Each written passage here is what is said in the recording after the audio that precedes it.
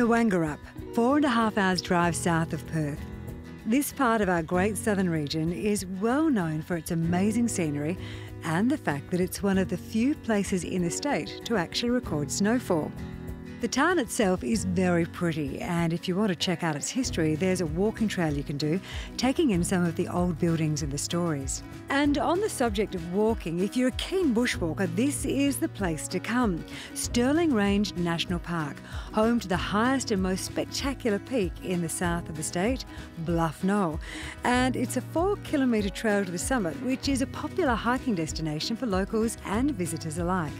Some tips from the locals on the way down, go sideways. It may not look that flattering, but it will save your knees.